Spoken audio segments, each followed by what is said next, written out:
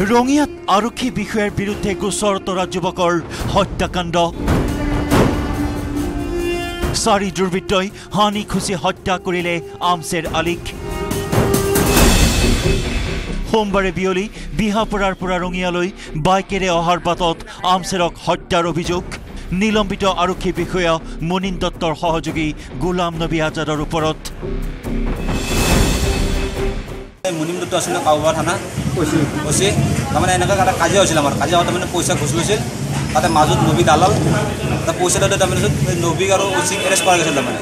Arrest কৰাৰ হেৰিত তাৰমানে কাজিয়াটোৰ এই সিটো লৈ কিনে মাৰিছে ঊনত্ৰিছ জুনত আমছেৰ আলিৰ পৰা ঘোচ লৈ হাতে লোতে দুৰ্নীতি নিবাৰকৰ জালত পৰিছিল। আৰক্ষী বিষয়া মুনীন দত্তৰ লগতে দালাল গোলাম নবী আজাদ। কিছুদিন জেলৰ ভাত খাই জামিনত মুকলি হৈ আহিছিল দুয়ো। জেলৰ পৰা মুকলি হৈ অহাৰ পাছতেই গোলাম নবী আজাদে নৃশংস হত্যাৰে প্ৰতিশোধ ল'লে আমছেৰ আলিৰ ওপৰত। গোলাম নবীৰ সৈতে আমছেৰ হত্যাত জড়িত আছে তিনি দুৰ্বৃত্ত মনিৰ আলী খালেক আলী আৰু ছাজুদ্দিন। সোমবাৰে বিয়লি ৰঙিয়াৰ বিহাপৰা চকত খাপ পিটি থকা এই চাৰি দুৰ্বৃত্তই চোকা অস্ত্ৰেৰে জঁপিয়াই পৰিছিল। বাইকেৰে ৰঙিয়ালৈ আহি থকা আমছেৰ আলিৰ ওপৰত। একেখন বাইকতে আহি থকা জান মহম্মদৰ চকুৰ সন্মুখতে ঘাতকৰ দলে প্ৰাণ ল'লে আমছেৰৰ। এই বিয়াৰ পৰা চকত ধৰি কিনে দলত নাটত তাত ধৰি কিনে তাক নামাই কিনে বাইকৰ পৰা নামাই কিনে ধৰি কিনে খাইছে নবী মনিৰ খালেক আৰু এই চাজুদ্দিন আৰু চব কমিটিৰ মানুহ আছে চব মিলি কিনে মাৰিছে আৰু। হত্যাকাণ্ডৰ পাছতে ঘটনাস্থলীত উপস্থিত হ'ল ৰঙিয়া আৰু তামোলপুৰ আৰক্ষী। কিন্তু মৃতদেহ চমজি ল'বলৈ ৰাজি নহ'ল কোনো এদল আৰক্ষী।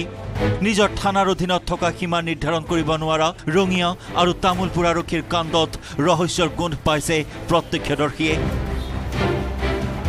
মানুহ এজন মৰিছে ইয়াত হানিকুচি হত্যা কৰা হৈছে কিন্তু আৰক্ষী বিষয়াসকলে তেওঁলোকৰ সীমাই নিৰ্ধাৰণ কৰাত বিফল হৈ আছে। তো তেওঁলোকে আৰু কিমান দূৰ তদন্ত কৰিব?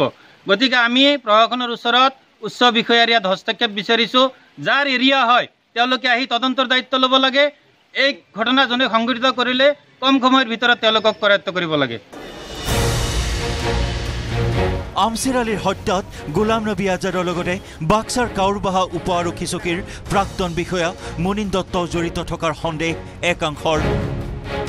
আনহাতে হত্যাকাণ্ডৰ চৌব্বিছ ঘণ্টা উকলি যোৱাৰ পাছতো মূল অভিযুক্ত গোলাম নবী আজাদৰ লগতে চাৰি হত্যাকাৰীক কৰায়ত্ব কৰিব পৰা নাই আৰক্ষীয়ে।